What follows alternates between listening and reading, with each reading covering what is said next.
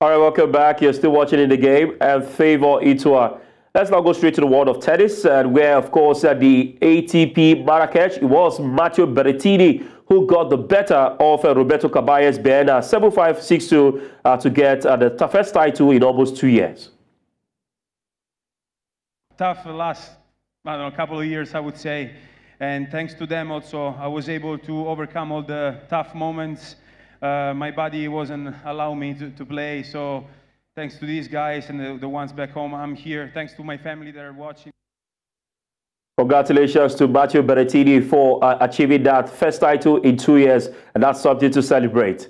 Away from tennis now to the round letter game of football. Uh, we talk about, of course, uh, our own Rivers United, uh, a club side in Nigeria based in Rivers State. The only representative before now uh, on the continent of Africa. They lost two goals to nothing against uh, USM Alger right there in Algeria. As he finished two goals uh, to nothing and on aggregate, two goals to one. Now, Malian striker Abdullah Kanou's brace secured the crucial win, propelling USM Alger to the semi-finals for the second consecutive time. Now, despite the strong start, they broke the deadlock only in the 37th minute through Kanou's close-range efforts. The second half saw heightened attack efforts from USM Alger, though played predominantly settled in midfield. Now, despite Rivers United's near equalizer, USM Alger sealed the win with Kanou's second goal uh, right there in the 74th minute. Now, joining us to discuss or to review the game played right there in uh, Algiers, Algeria, is a veteran journalist and manager, uh, progress manager, of course, uh, for uh, FM Port Harcourt, Nigeria. China Acheru joins us this afternoon. Good afternoon. Welcome to the show. Good afternoon, Favour. Good to be on your show. All right, a disappointing night for the Pride of Rivers as they failed to progress for what we saw. It wasn't a game Rivers United should lose when you look at how they played initially the first half. I mean, what do you think went wrong? Was it uh, a case of uh, them being timid or intimidated by the fans, or do you think something actually did not go that well for them on the night? Nigerian clubs have, have always been intimidated by North African sides, always been. You see Rivers United go away to North, North Africa and lose a couple of times. Yeah, we have also seen the Nigerian clubs win, like Daily Insurance, who qualified in North Africa. We have seen Dolphins win a few times before, but there's this phobia Nigerian clubs have of the North Africans, especially when the home leg is in Nigeria. For Rivers United, um, they, they, got a slim 1 0 win at, in the first leg in New York. Maybe they should have scored more goals. They had the Algerians right there for the taking, but they couldn't score more goals. Then going to the second leg in Algeria, I think the Algerians unsettled them. The first was the issue of the VAR that wasn't going to work. Now the question now would be, was there anything that happened on that pitch that aided the Algerians because the VAR was not working? I saw the Rivers United media officers match report, and there was it, it showed no such thing. But I think that having that, that announcement come so close to the game, it goes away to unsettle the away side. Now, but what how the Rivers United manage that situation was a protest to CAF. Did ask the day for the game to be moved by 24 hours what did they do about it? So I think the Algerians unsettled them by that by that um, announcement. But having said that, Nigerian players always have that phobia of North Africa. The game was played at night. We hear the weather is very cold at night. I've been to North Africa a lot of times and I know how cold it can be at night. In the home leg in, in Uyo, Rivers United decided to play the game at 2 p.m. Unfortunately for them, it rained on the day. So it didn't turn out to be as cold as they would have wanted it to be. So here and there, I think if they had scored more goals in the first leg, then they would, wouldn't have had this. Um, probably uh, Algeria would have needed more than two goals to qualify. So the United they are lost from the first leg, Uyo. All right. Uh, what, what did you made mention of uh, during the course of uh, the discourse? You said, uh, you know, VAR was supposed to be used. Yes, VAR was supposed to be used as is mandated by CAF, but it wasn't. Now, a statement from CAF reads, and I quote, for the last few days, CAF has been negotiated, of course, uh, to ensure that uh, VAR was used. But according to uh, CAF, VAR equipment uh, has been kept by the authorities at the entry port in Oran, Algeria, since Wednesday morning. And regrettably, the VAR equipment was only released at 7.30 today. That's on Sunday, the day of the match, making it impossible to drive the 400 kilometer distance between Oran and Algiers and make it on time for the match. Now, there are two questions in my, my mind, uh, my head. Uh, should the game have allowed to be continued, knowing fully well that it was a prerequisite, was mandatory for VAR to be used in that game. And there's been there's these talks about whenever it comes to North Africans, CAF are always uh, lenient or most of the times just bring out the fines and nothing else on these North African clubs. So do you think the game should have been allowed to continue?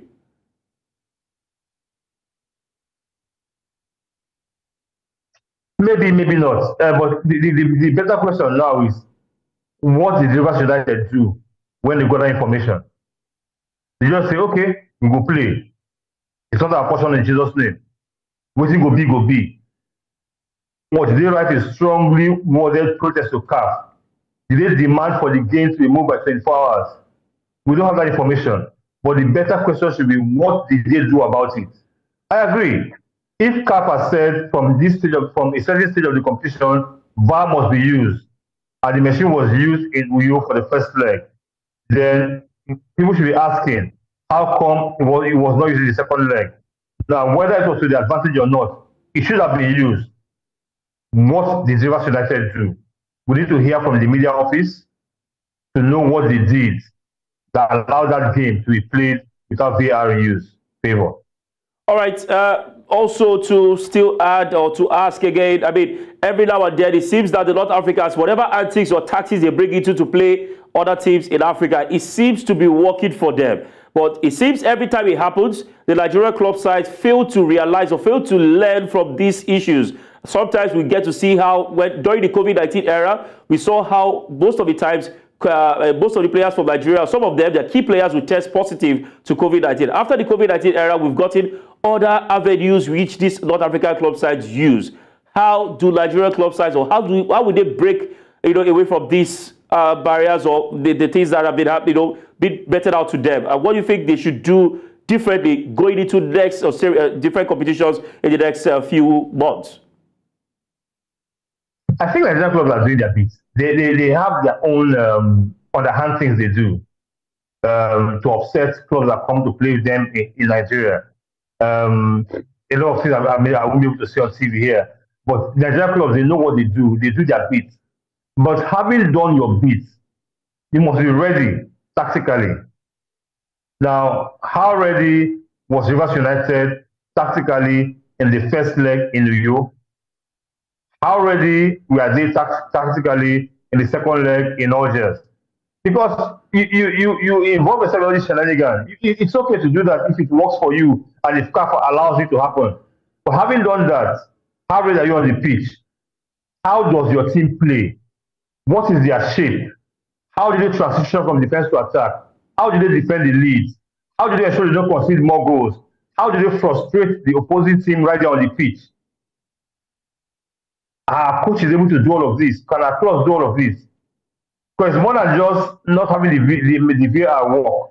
Okay, for the West United the first leg, they applied to CAF for, to have their game played at 2 p.m. because they felt the temperature was at a certain level. That the moment it started raining, what happened? So you must be ready for every situation. But I don't think our clubs are really ready for that. It, it takes more than just that. Do they practice this shenanigan? Yes, they do.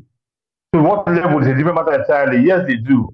But as a football club, the first thing a football club is that you have players are ready to play football. Are they ready to play football as a football club? That I don't see happening yet. We, we, we, we are not up to the level of North Africans. The earlier we accept this, the better for us. It will, it will, it will reduce our blood pressure. We are not up to that level yet.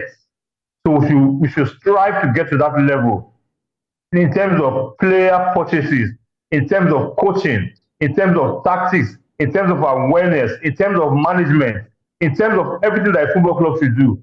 We need to get to, the, to that level or close to the level. We are nowhere close to that level. So we continue to fall to them no matter what we do. All right, uh, before we let you go, I mean, we've talked about uh, how we are not even up to uh, the level of uh, the North African teams, what they've been able to achieve over years. For Rivers United, they happen to be, at the moment, the only team in Nigeria that has even gotten to this stage back to back. How would you rate their performance this season when it comes to continental football? And uh, in, any time, in the next future, do you think that we'll have a team come up uh, to take Africa by storm, aside what we've seen in the past from Enyimba International? Rivers have done well in terms of results, right? in terms of performance, it's different entirely. But in terms of get they've got the results. They've, been at this stage twice now in, quick, in quick succession. So in terms of results, they've done well. Now, ask if we have another club that can do this because Rivers United they are they are lowly placed on the table, six games in in hand. I don't see them finishing top three. The only way back to the continent is the Federation Cup. If they can win the Federation Cup, that's the only way back to the continent. Now, we have seen Remo Stars try to look at the continent twice. They just need to be more consistent. They have very good organization. So um, if Remo gets a third chance on the continent, who knows? They might just do better than they've done in the previous seasons. Uh, can still do that if they're back on the continent. The Rangers have been away for a long time. I don't know how ready they are for the continent. But maybe um, I'm, I'm, looking at Remo Stars. To an extent, Lobi Stars, if they get to the continent, Lobi Stars, uh, their new chairman, Dominic Iorfa, he has been there, he has seen it all, he has done it all. And the last time Lobi, in Nigeria club was in the group stage of the CAF Champions League was Lobi Stars. So the club uh, have that foundation. Uh, apart from these ones, I, I, think any other club that manages to get to the continent will just struggle because playing on the continent is just it's not just about getting the team together to play. There's a whole lot involved, a whole lot involved from the government angle, the sponsorship, to the management angle, to the coaching, to the players, to even the supporters of the club, the media angle. It's a whole, it's a, it, it, it, it's, it's a whole thing there. So we are there, our clubs, we are not just ready. We are going to get there. Like I said, I, I like what Remo Stars are doing. If they can keep at it, I like what Remo Stars are doing. I like what Rangers are doing too. They can, they can keep at it. I also like what Lobby Stars are doing. But we need to do better, and we'll get there surely. Slowly but surely, we'll get there. All right, uh, slowly but surely we will get there. Thank you very much, uh, China Cherry, for your quality time. Uh, we can only hope for the best when it comes to Nigerian football. Thank you very much. The pleasure is my favor.